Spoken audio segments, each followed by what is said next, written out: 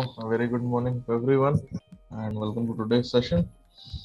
आज का हमारा टॉपिक है on the exercises for ankle and foot care and just a quick intro before we begin कि ये एक्सरसाइज हम क्यों करते हैं क्या इनके पीछे what is the whole logic behind doing these exercises so पैरों के लिए uh, just like any other body segment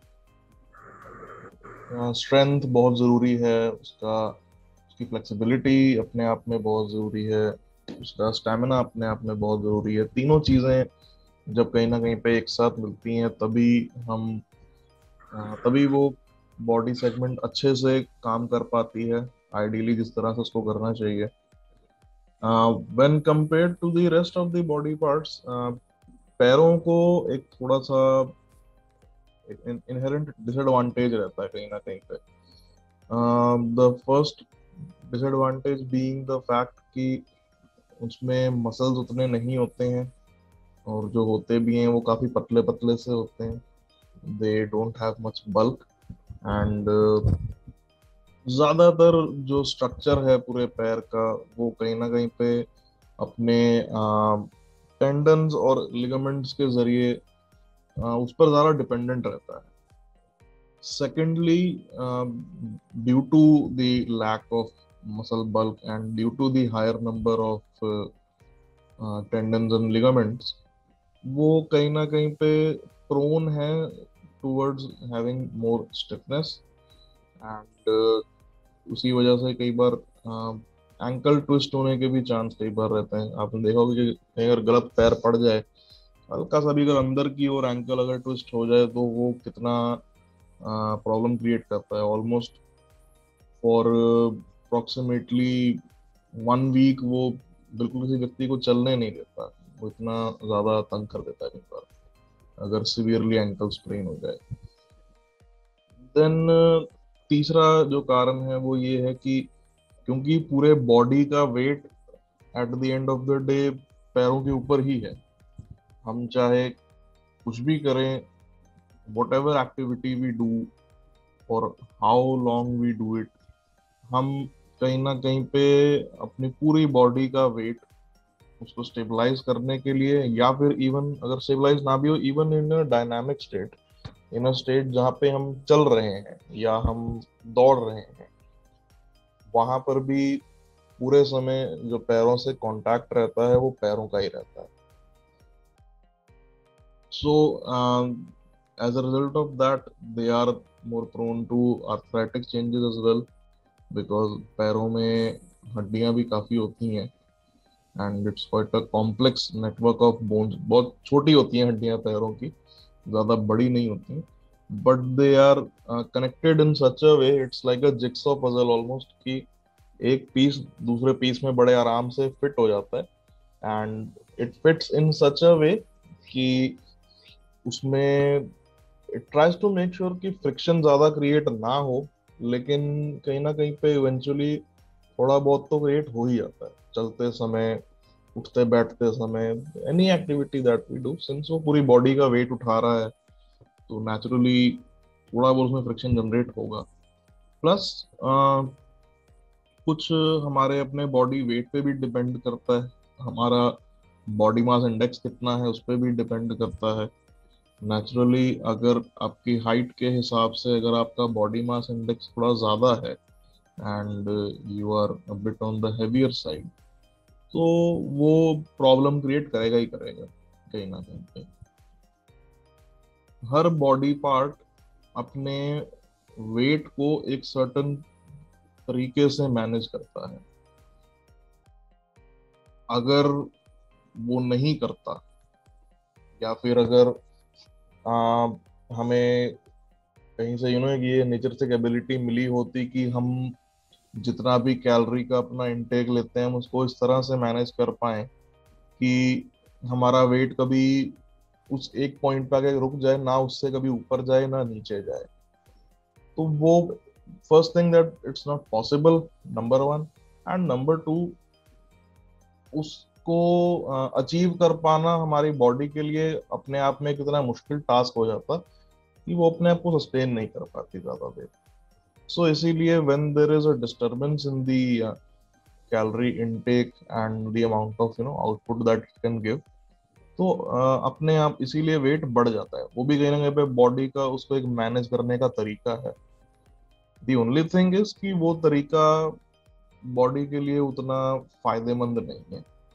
In the long run if we are a bit on side and, you know, compared to our height तो वो कहीं ना कहीं पे इसीलिए लॉन्ग टर्म में थोड़ा सा हमें नुकसान करता है। हमारे कार्डियोवास्कुलर सिस्टम से लेकर हमारे ब्लड शुगर लेवल्स तक, हमारे इवन ब्रीदिंग तक up to an extent but majorly हड्डियों में बिकॉज़ हड्डियाँ अब नॉर्मल से ज़्यादा थोड़ा वेट उठा के चल रही हैं। So to maintain an ideal body weight is very important and to make sure वो वहीं पे रहे। मेंटेन करना बहुत ज़रूरी अचीव करना तो एक बात है बट उसे मेंटेन करना बहुत ज़रूरी है। So uh, we'll start now with the ankle and foot exercises but uh, before we begin with that अगर हम सिर्फ़ पैरों की एक्सरसाइज करने बैठे तो वही करते रह जाएँगे and be of any use. So हाथों का भी थोड़ा पहले एक्सरसाइज कर लेते हैं थोड़ा वार्म अप कर लेते हैं। Later on will begin with the foot exercises so chairs को पीछे कर लीजिए आराम से थोड़ी जगह बना लीजिए। सो so, हाथों का वार्म अप करेंगे then will get to the legs so दोनों हाथ आगे ले आइए इस तरह से। एंड चलाइए हाथों को।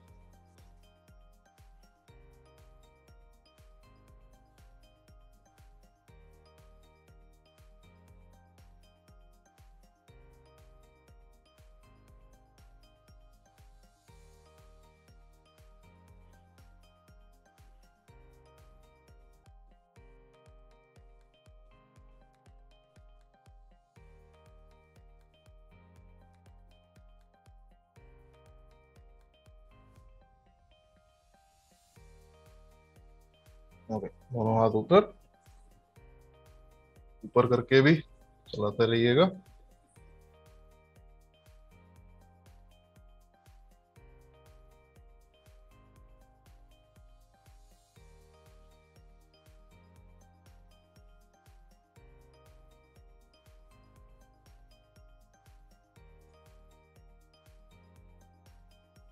ओके दोनों हाथ नीचे पे गए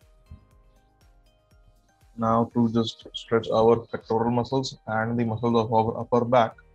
दोनों हाथों को इस तरह से उठा लेते हैं साइड में। हाथों को पीछे की ओर ले जाते हुए अच्छे से स्ट्रेच करेंगे। सामने की ओर देखते रहना है। गर्दन नीचे ऐसे नहीं करनी है। Look straight and then stretch back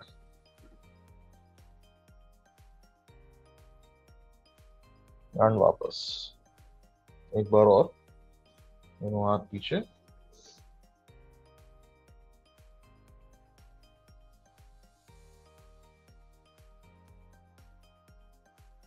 वापस एक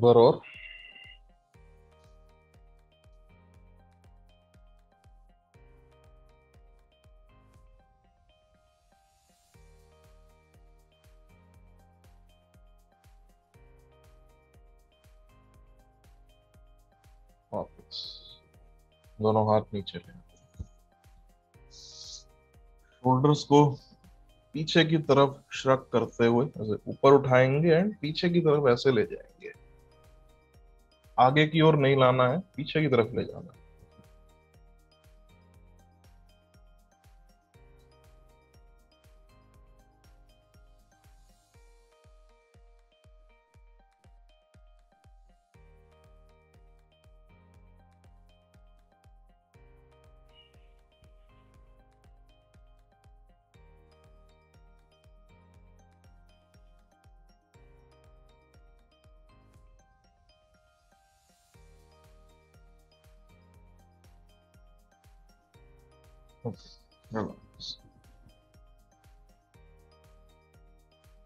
So uh, now coming to the main exercises for today.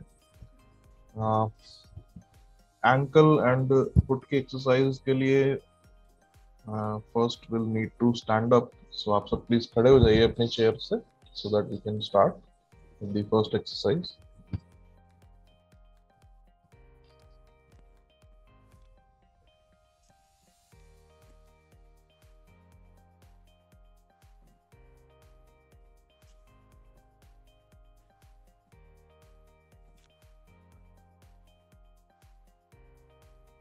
हम करेंगे टैंडम वॉक के साथ। Tandem walk is basically keeping one foot in front of the other चलते हुए इस तरह से। ध्यान रखना है कि आगे वाले पैर की एड़ी, पीछे वाले पैर के अंगूठे को टच करते हुए इस तरह से आगे चले। बैलेंस बनाने के लिए अगर आप चाहें तो हाथों को थोड़ा सा फैला सकते हैं। एंड स्टार्ट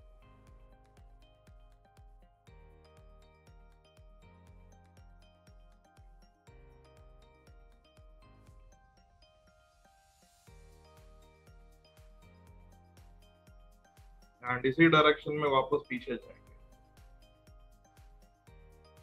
पीछे घूम के नहीं जाना है, ऐसे ही इसी जिस डायरेक्शन में आप अभी चल रहे थे, वैसे ही रिवर्स एंड वापस आगे की तरफ़।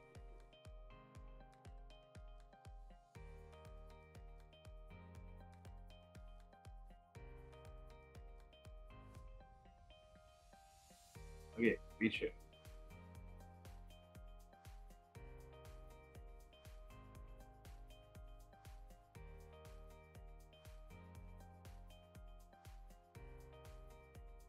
आगे आगे की तरफ़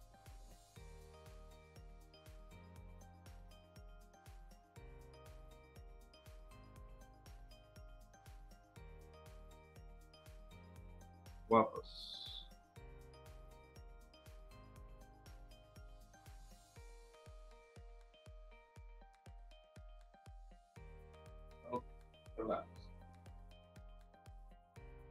For एक्सरसाइज दोनों पैरों को आपस में जोड़ लेंगे इस तरह से। हाथ कमर पे रखते हुए, we'll do hip raises, so अपने टोस के ऊपर खड़े होते हुए, इस तरह।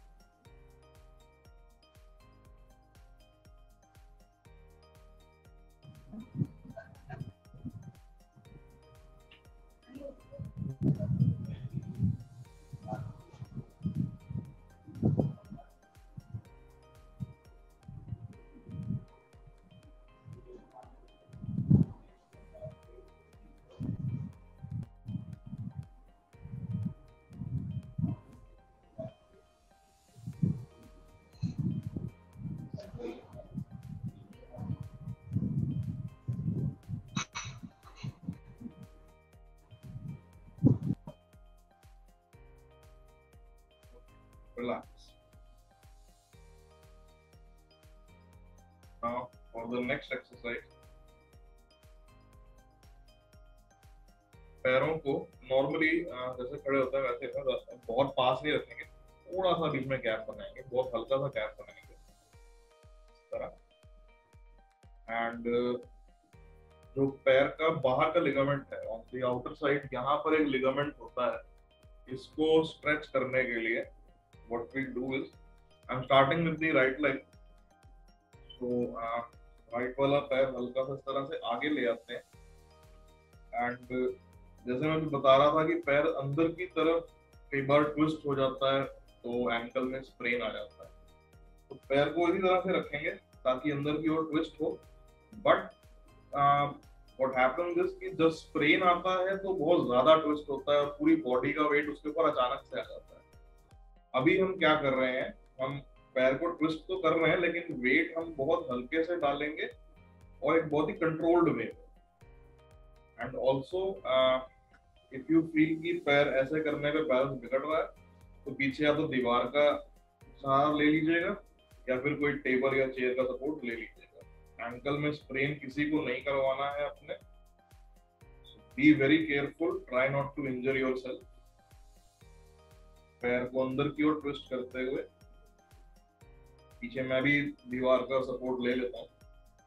एंकल स्प्रेन मुझे भी नहीं करवाना अपने सो धीरे धीरे आगे की तरफ़ लीन करते हुए अपना वेट उसके ऊपर डालेंगे। जहाँ आपको एक स्ट्रेच आना फील हो जाएगा, वहाँ रुक जाएँगे। धीरे से वापस पैर को सीधा with the opposite leg left वाला पैर आगे ले आते हैं। अंदर की ओर ट्विस्ट करते हुए again very slowly and very carefully अपना वेट इसके ऊपर डालते हुए स्ट्रेच करेंगे। जहाँ स्ट्रेच आना शुरू हो जाएगा, वहाँ से तो केस को वापस पीछे again with the right leg पैर आगे उधर की तरफ़ वेट ऊपर डालिए।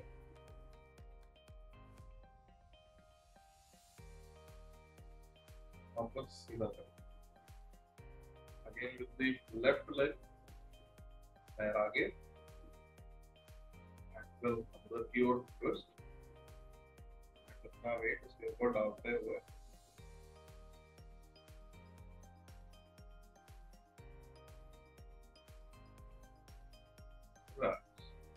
पैर पीछे। This stretch can be done only once or twice क्योंकि जो लिगामेंट है वो काफ़ी नाजुक होता है and it is not meant to be stretch so much तो हल्का सा बस एक दो स्ट्रेच देके ही उसका काम हो जाता है। जो अंदर की तरफ़ जो है ligament on the other side of the foot अभी हमने जो स्ट्रेच किया it was for the outer side for this side now to stretch for this side we'll need uh, more pressure and we'll need more repetition but we'll do that later so coming to the next exercise आप पैरों को again थोड़ा पास पास रखते हुए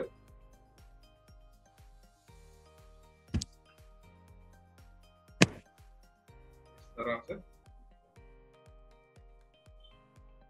पीछे audio पे अपना पूरा वेट डालते हुए हल्का सा टोज को अपने मतलब basically the front of the थोड़ा ऊपर उठा लेते हैं इस तरह से एंड उठा के बाहर ले जाएँगे, वापस अंदर लाएँगे। Okay start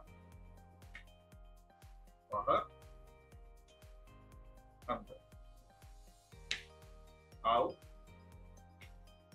in out. In.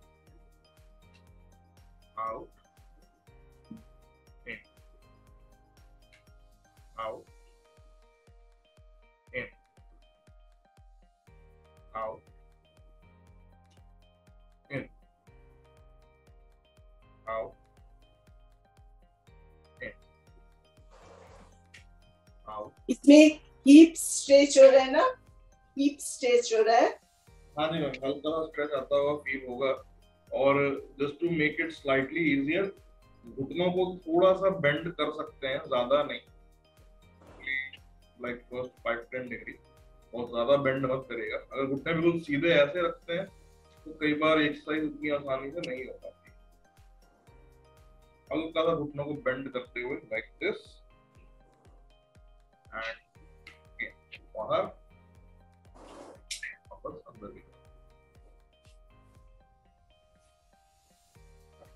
And relax. Now for the next exercise, um, जैसे हमने अभी स्ट्रेच किया for the outer side of the ligament now for the front the region of the shin muscles इनको भी stretch करने के लिए body का वेट यूज़ करते हैं और पैर को आगे की तरफ़ इस तरह से बेंड कर लेते हैं। मैं एक बार साइड से दिखाता हूँ so that it is easier so will use a chair for this support के लिए हमने चेयर रख दिया सामने। चेयर के पास खड़े होंगे।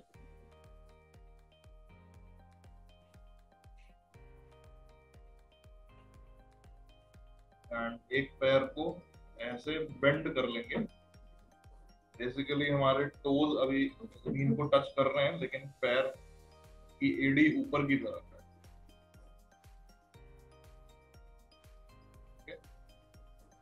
अब करना क्या है कि जो ऑपोजिट लेग है, उसका घुटना बेंड करते हुए नीचे की ओर जाएँगे ताकि पीछे शिन के पास यहाँ आपको एक स्ट्रेच फील होगा you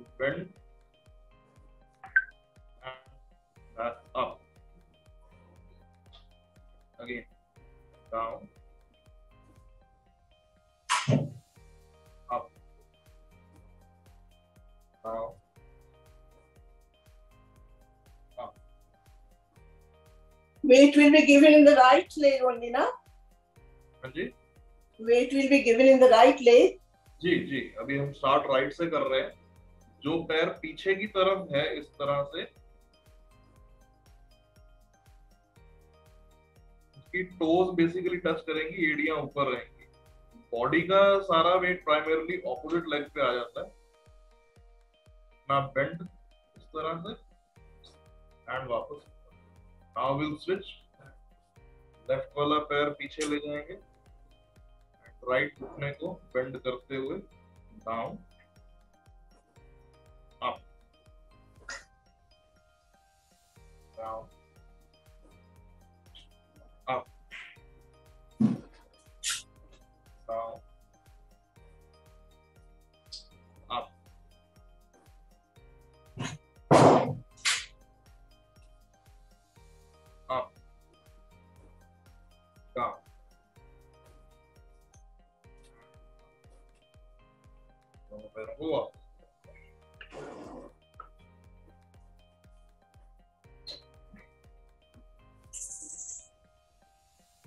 ये तो हुई एक्सरसाइज अपने लिगामेंट्स को स्ट्रेच करने के लिए। Now the muscles of the sole of the foot पैर के बिल्कुल नीचे, पैर के तलवों के पास जो होते हैं, इसको स्ट्रेंथन करने के लिए। आप अपने सामने एक एक इमेजिनरी स्क्वायर एक इमेजिन कर सकते हैं कि आपके सामने एक स्क्वायर बना हुआ है ज़मीन पे। एंड आप उस स्क्वायर के बाहर खड़े you are standing just outside the edge of the square okay so what we do is we'll start with the left leg and अपने लेफ़्ट लेग के अंगूठे से हम से स्क्वायर की चारों साइड्स को टच करते हुए वापस सेंटर में लाएँगे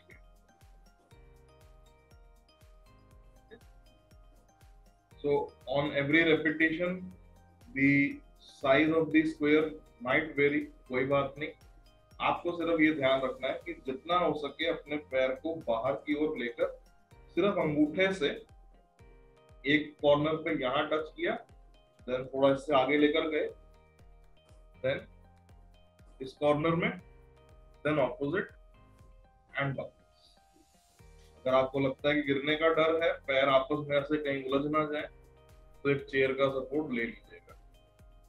Always make sure before doing the exercises जहाँ भी आपको लगे कि आपका बैलेंस बिगड़ सकता है तो सपोर्ट लेकर रखिए अपने साथ।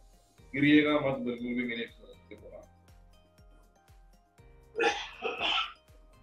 So will start with the left leg one two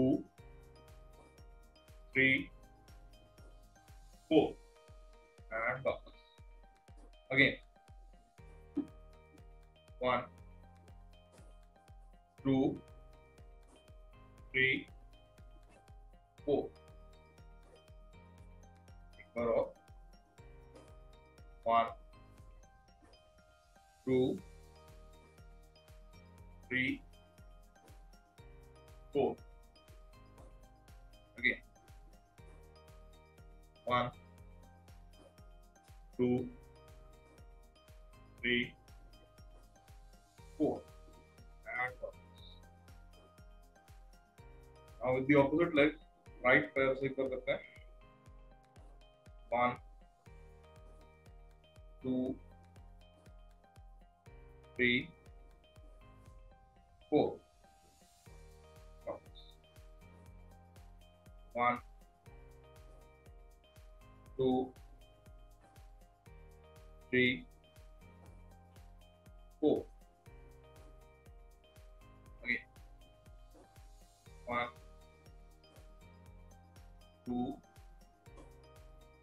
three, four, and relax.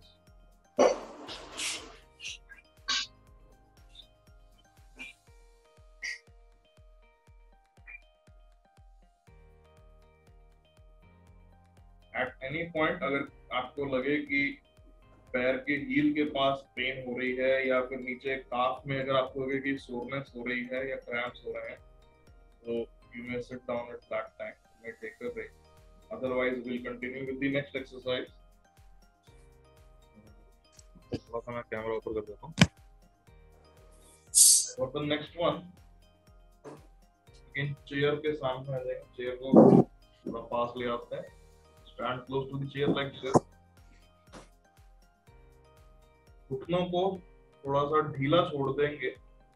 Let them slightly you know bend forward like this इतना से सीधा टाइट नहीं रखना है। इस तरह से बूस्ट छोड़ देना। दोनों हाथ चेयर के ऊपर रहेंगे।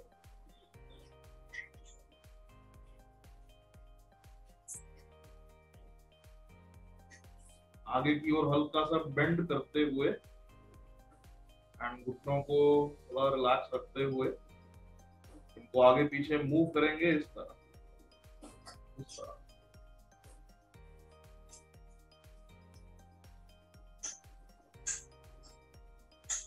पैर ज़मीन से ऊपर नहीं उठेंगे। पैर अभी भी मेरे ज़मीन पे टच है। हल्का सा अगर मैं कैमरे को नीचे करूँ तो you might be able to see कि पैर ऐसे ही रहेंगे। सिर्फ़ ये मूवमेंट है। ना तो मैं टोज को ऊपर उठा रहा हूँ और ना ही पीछे हील्स को। पैर के दोनों हिस्से ज़मीन से जुड़े हुए हैं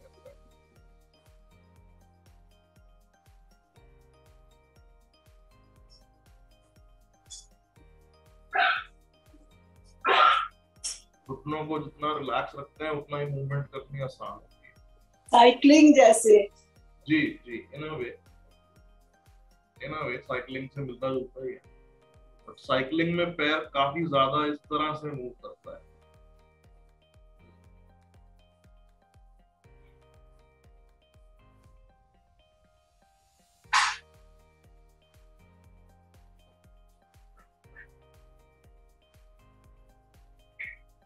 थोड़ा फास्ट चलाइए पैर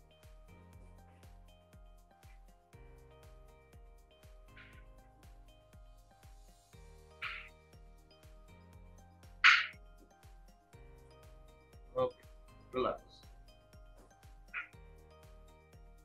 वापस चेयर पे बैठ जाते हैं।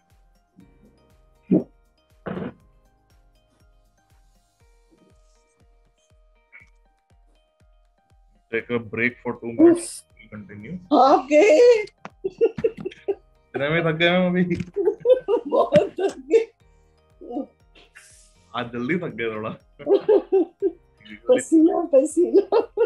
अच्छा लगता है बट वी एंजॉय इट बचपन वापस आता है। जो बचपन में ऐसे ही खेलते थे ना वो अब हमारी एक्सरसाइज है। It's nice Take a break for two minutes and then we'll continue after that. थक गए हैं तो पानी पी सकते हैं। मैं तो ज़्यादा कर ही नहीं पाई खड़े होने वाली। क्योंकि टांगों में बहुत ज़्यादा दर्द हो रही थी। आज शुगर मेरी तीन सौ बयासी खाली पेट की। अरे बाबा ये। हाँ, तो ज़्यादा देर कर ही नहीं पाई मैं तो बैठी गई। रसगुल्ला खा लिया था क्या? तो नहीं नहीं कुछ भी नहीं खाती मैं तो स्टेरॉइड खा रही हूँ उसी से ही मेरा हालत खराब है। अरे बाबा। कॉर्टिकोस्टेरॉइड का असर है मैम सारा ये। थोड़े टाइम में बंद करने पड़ेंगे। ज़्यादा देर नहीं चला सकते ऐसे बहुत ज़्यादा है।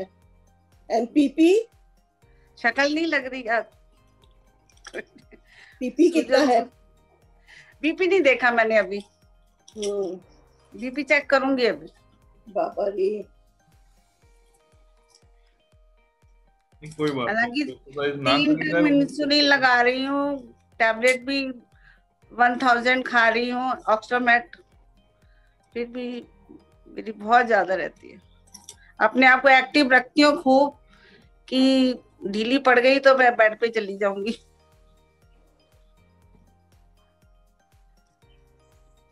बहुत ज़्यादा अनीता कंट्रोल करो।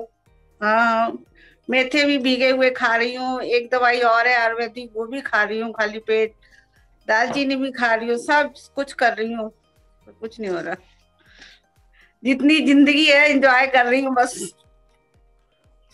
कोई कुछ नहीं बोल सकता ज़िंदगी। हाँ ये तो है। डॉक्टर अनुराग मेरा एक क्वेश्चन था आपसे। जी पूछिए। जैसे जिनका नी रिप्लेसमेंट हुआ हुआ है मेरा हुआ हुआ अभी डेढ़ साल पहले तो क्या जो आपने ये एक्सरसाइज बताई है वो मैं कर सकती हूँ? कर सकते हैं कर सकते घुटनों को जो मोड़ने वाली जो आपने बताई खड़े होके फुट हाँ और हाँ वो कर सकते हूँ। घुटने एक्चुअली में इसमें बहुत ज़्यादा बेंड नहीं होते हैं। दे हाँ bend only up to the first 15 20 degree तो हाँ, उतना हाँ। बेंड कर सकते हैं। कर सकती हूँ। uh, हाफ़ स्क्वाट्स तो वैसे करती हूँ मैं हाफ़ स्क्वाट्स तो वैसे भी करवाते हैं वो लोग ना। हाँ जी हाँ जी। Hmm, at the same time हर व्यक्ति को सिम्टम्स थोड़े अलग अलग लगते हैं। There surgery and you know implant कहाँ डला है कैसा डला है उस सब में थोड़ा बहुत तो फ़र्क होता ही है उन्नीस बीस का। हाँ तो जी हाँ अगर आपको कहीं पे लगे कि कोई प्रॉब्लम मेरी ऐसी है जो एग्रावेट हो रही है उस टाइम पे या हम्म, फिर इम्प्लांट जहाँ पे बेंड होते कई बार एक आवाज़ सी करते हैं। हम्म, तो उस टाइम पे आप रुक जाइएगा। There is no harm in that like I always say कि एक्सरसाइज गलत करने से अच्छा एक्सरसाइज ना करें। स्किप कर। देंगे कोई उसमें नुकसान नहीं है। करने से जो नुकसान है उससे अपने आप को बचा लें वो ज़्यादा अच्छा है। ठीक है। Thank you so much doctor, मैं तो हैं, करती कई हूँ। बार कुछ समय बाद थोड़े लूज भी हो जाते हैं। डॉक्टर हाँ। मुझे तो नौ साल हो गए रिप्लेसमेंट किए और मैं तो सारी एक्सरसाइज कर रही हूँ। नौ साल में अब वो अब तो इम्प्लांट जो है वो एक बॉडी का हिस्सा ही बन जाता है अपने आप में। हाँ। तो बॉडी डजंट माइंड कि यहाँ पर ये क्या है या क्यों है। It comes to its normal position I think है ना? हाँ। जो बाकी सब तो नॉर्मल होती है बस बैंड नहीं कर सकते नी को।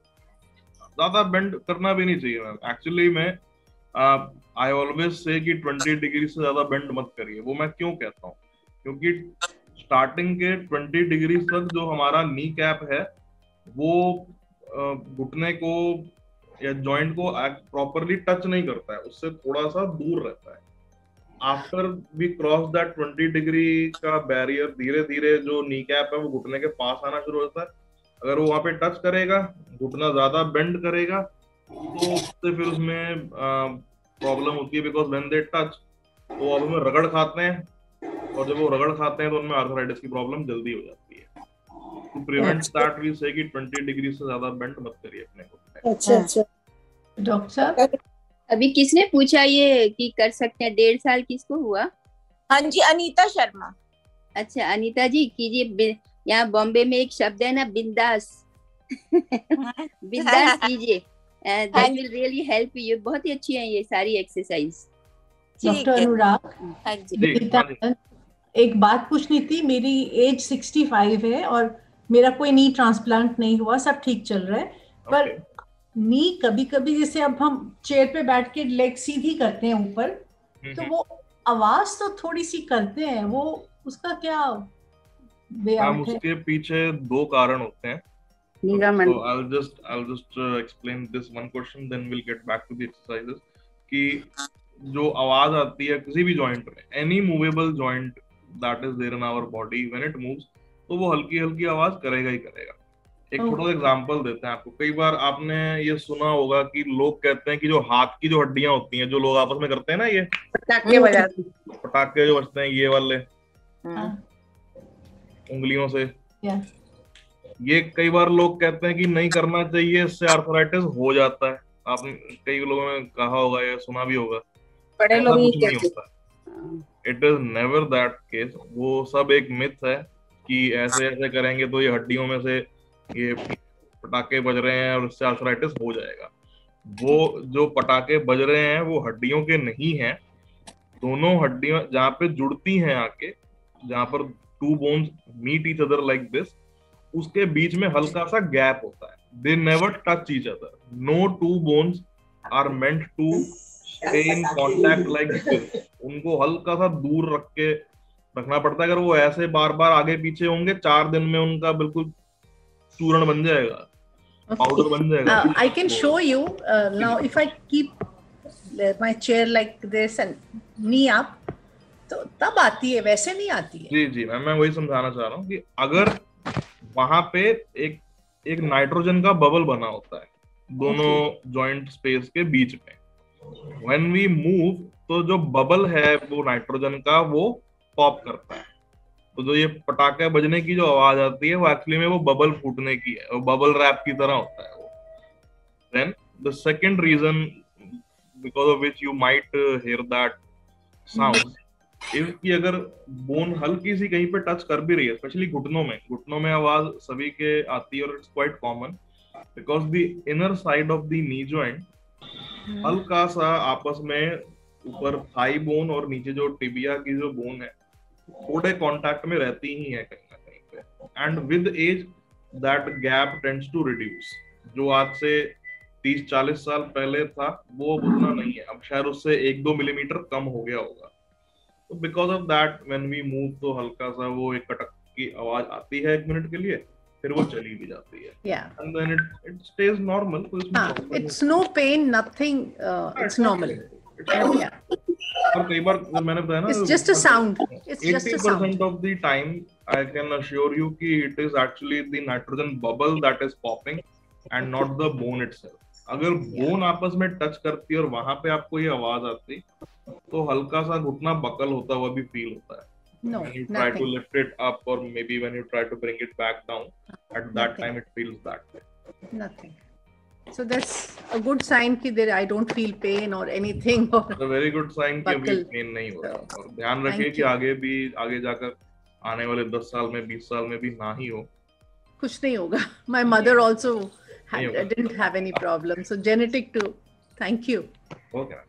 So uh, now we'll get back to the exercises that we were doing. yes For the next set of exercises, अब ये बैठ के भी हो सकती हैं थोड़ा बस चेयर्स को पीछे कर लेते हैं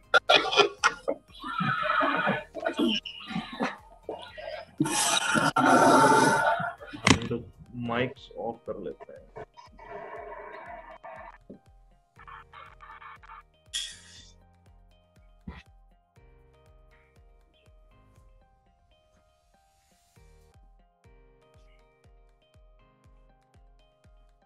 for the next one. Uh, like we had done in the last session थोड़ा पैरों को इस तरह से फैला के रखेंगे।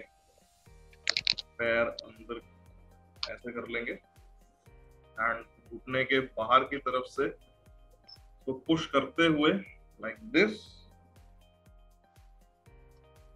होल्ड करेंगे 10 सेकंड्स एंड अगेन अंदर की ओर पुश करते हुए। Touch both the thighs. आ, अगर टच हो पाए तो बहुत अच्छी बात है अगर नहीं हो पा रही तो भी कोई बात नहीं। डिपेंड्स कि आपने पैर कितने दूर रखे। हैं पैरों को जितना दूर रखेंगे टच करना उतना मुश्किल हो जाएगा। जितना पास ले आएँगे उतना आसान हो जाता है। But you should keep it somewhere in between like this ना बहुत पास ना बहुत दूर। ऐसे। एंड अंदर की तरफ़ पुश करते हुए।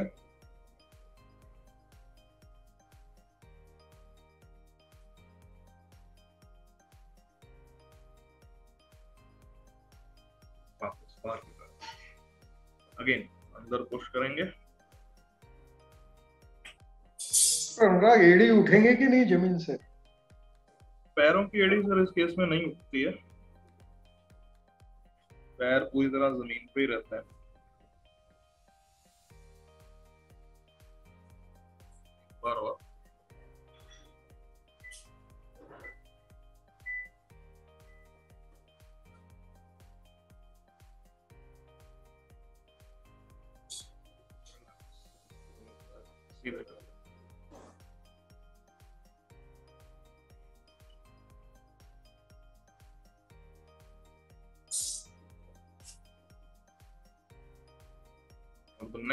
एक्सरसाइज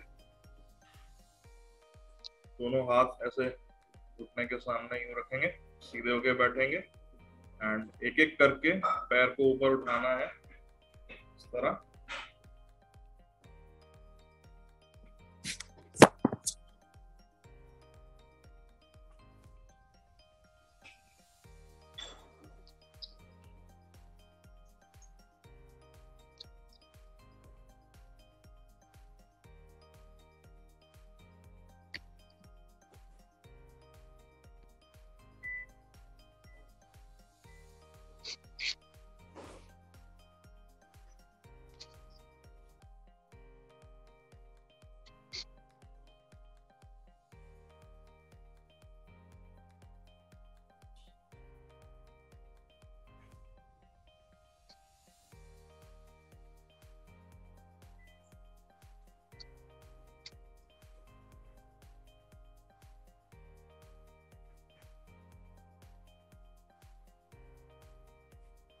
रिलैक्स दोनों पैर नीचे रखेंगे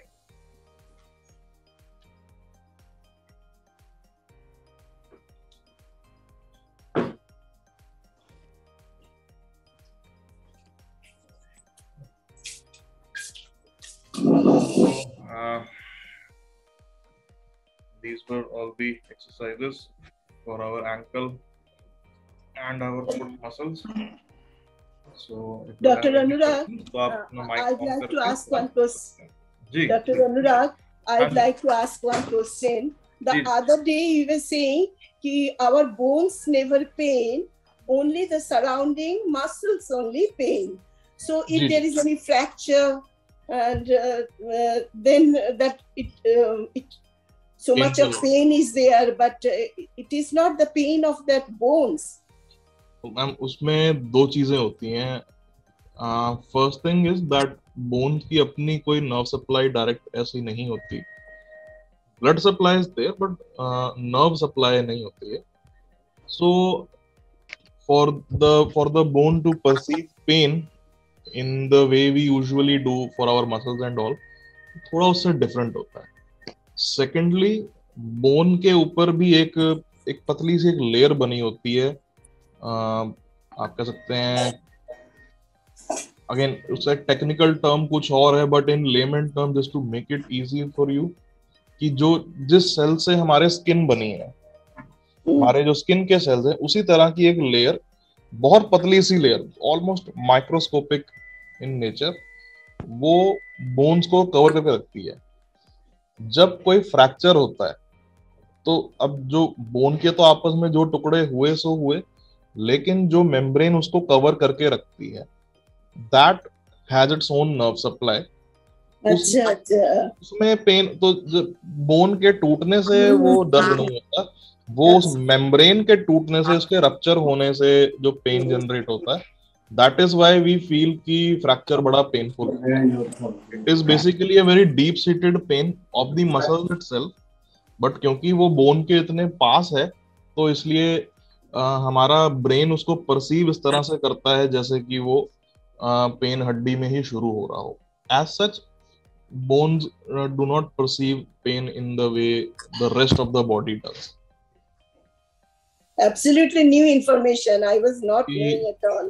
क्योंकि जितने अब जैसे मैंने बताया ना कि जितने भी हमारे मूवेबल जॉइंट्स हैं हम चाहे अपने आप को अभी हम सीधे ऐसे बैठ जाएँ अगर आँखें बंद करके भी तो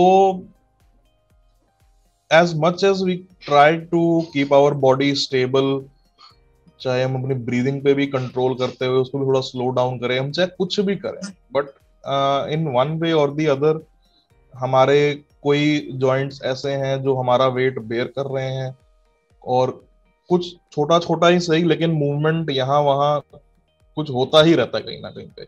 Body can never stay in rest you know complete rest complete immobile at all times उसको थोड़ा थोड़ा चलते रहना पड़ता है थोड़ा बहुत हिलते डुलते रहना पड़ता है वो तभी uh, काम करती है अपने हिसाब से।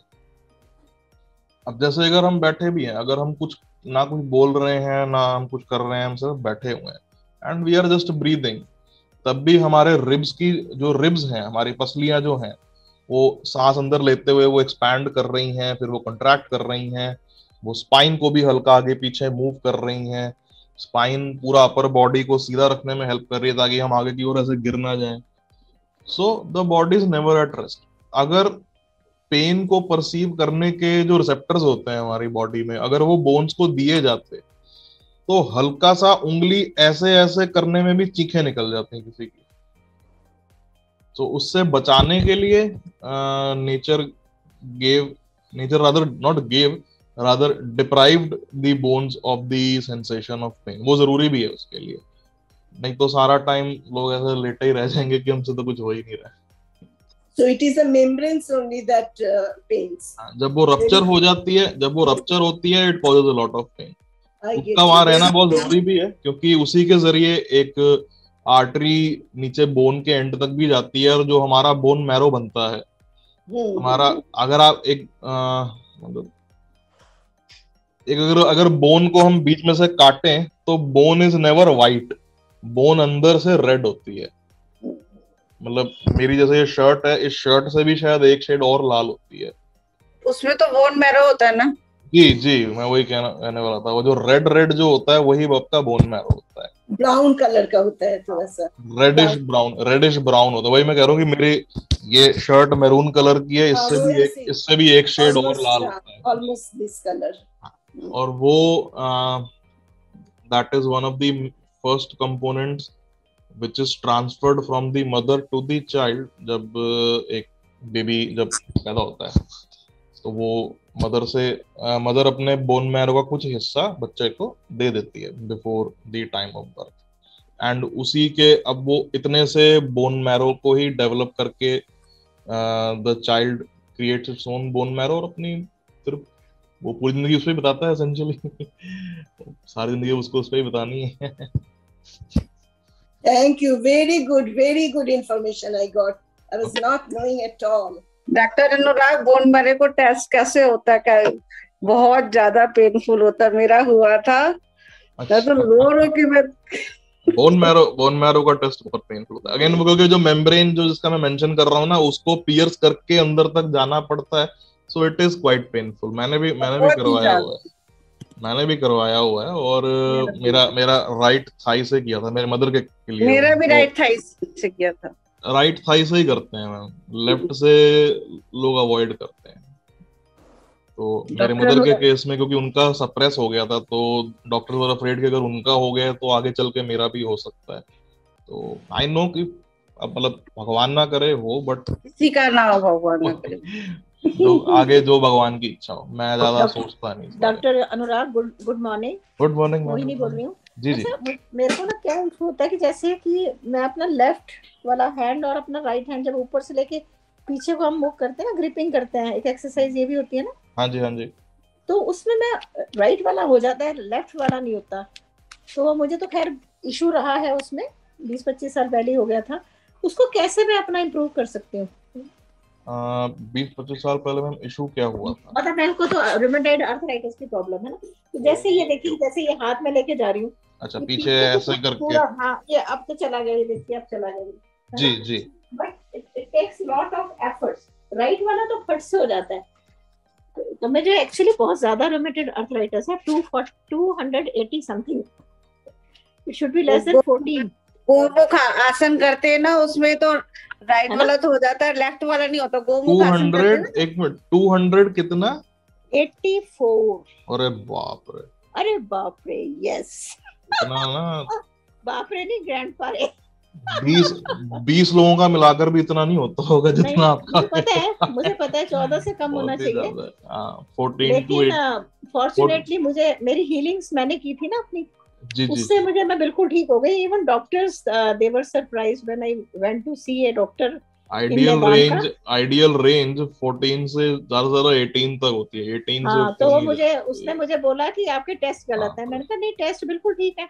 तो उन्होंने अपने भी टेस्ट कराए तो भी वो वही पहली बार में अगर अगर पहली बार में मैं देखता मैं भी आपको दोबारा टेस्ट करवाने के लिए कह देता हाँ लेकिन such high reading is not yes I know उन्होंने मुझे बोला कि जिनका 80 होता है वो तो बिस्तर से उठ नहीं पाते। दे हम्म। बिकम वेजिटेबल्स तो he he asked me to see in the lobby कि देखो इन लोगों का क्या हाल है इनका तो 80 से भी कम है। तो मैंने कहा कि मैं हीलिंग्स करती हूँ वो कहते हैं वो क्या होता है?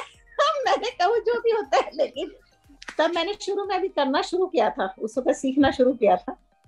अब तो आप- मैं आपके ये हीलिंग की अगर कोई आपके पास किताब हो चाहे पीडीएफ हो कुछ भी हो आप एक बार मेरे को भी भेजिएगा एक्चुअली ये ऐसा।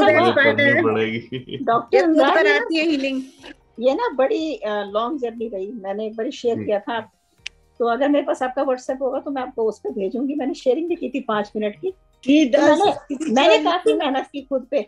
इसीलिए जो मेडिकल डॉक्टर्स है ना वो इस चीज़ को अंडरस्टैंड नहीं कर पाते। कि इतना सारा हाई रीडिंग के बावजूद मैं जो है कैसे मैं चलती भी हूँ दौड़ती भी हूँ ट्रैकिंग भी करती हूँ इवन अभी भी मैं जाने की सोच रही हूँ। अरे बाप रे। तो फॉर्चुनेटली इतने इतने ज़्यादा हाई रीडिंग के साथ भी मतलब कमाल है. हंसती हुई दिखती है आपको मैं He हंसती हुई doesn't दिखती take हूँ medicines, only spiritual healing. She doesn't take medicines at all.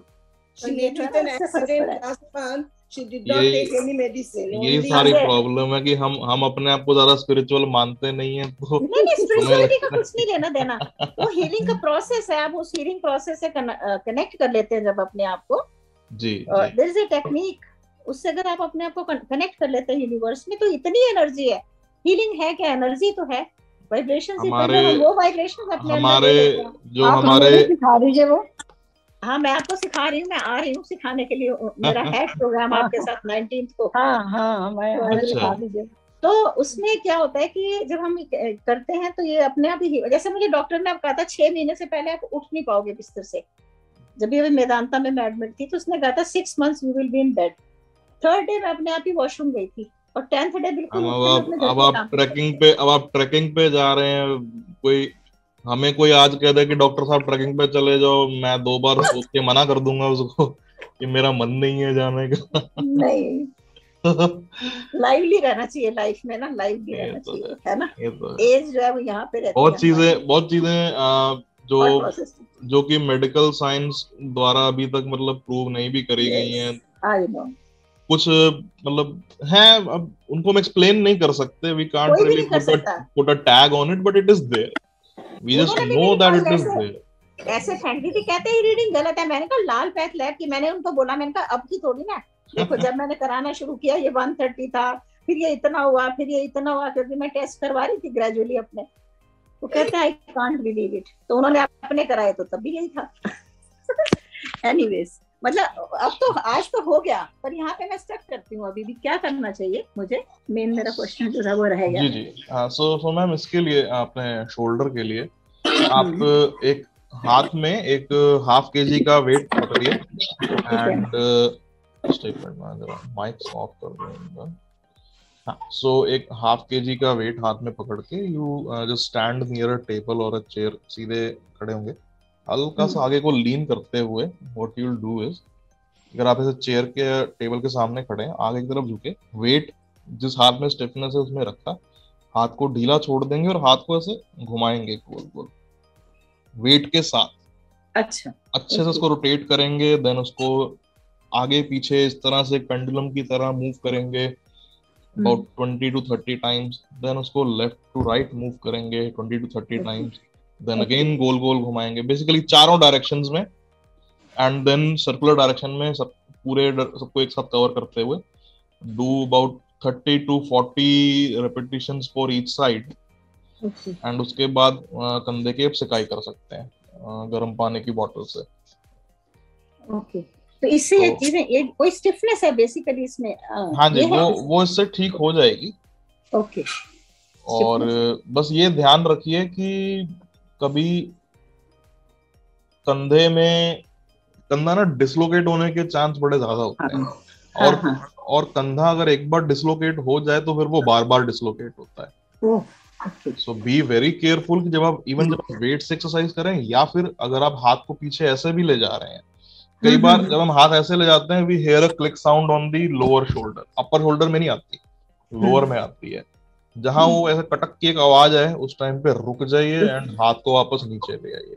ठीक क्योंकि है अगर हल्का सा भी वो डिसलोकेट हुआ या मसल पुल हुआ या कोई हम्म। लिगामेंट का टीयर हुआ तो वो अगले छह आठ महीने के लिए हाथ को स्लिंग में बाँध के रख देगा और हाथ को सीधा नहीं होने देगा। So be very careful with what you do कुछ भी आ, कहीं पे मसल्स में या बोन में कोई डैमेज उससे नहीं होना चाहिए।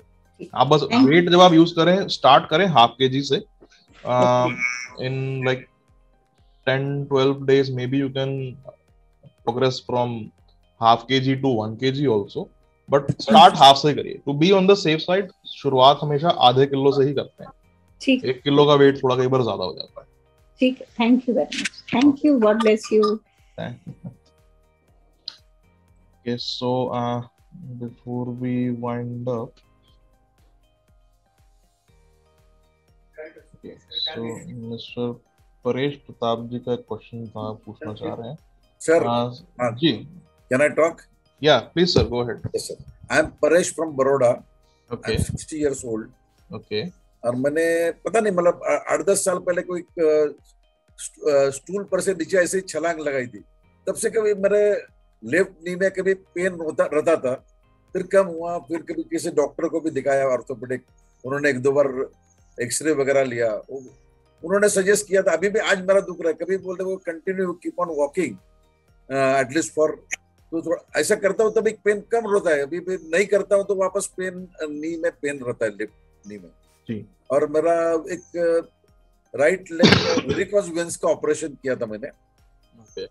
और अभी फ़िलहाल में भी मुझे पता नहीं लेफ़्ट नी में नीचे एंकल में स्वेलिंग आता है।